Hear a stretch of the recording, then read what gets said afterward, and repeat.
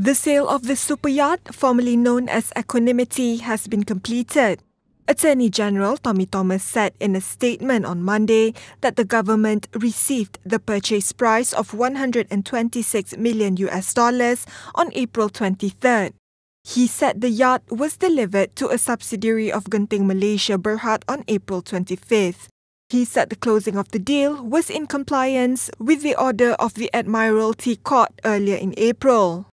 So far, approximately 15.5 million ringgit had been incurred in the arrest and upkeeping of the yacht, and Thomas said that if it had been undertaken elsewhere, the cost would have been two or three times more.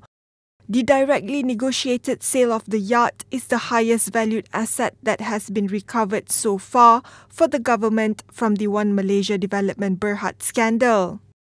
Genting is said to have plans to bring the yacht to Hong Kong, where it will be used as part of its cruise line business to serve VIP customers.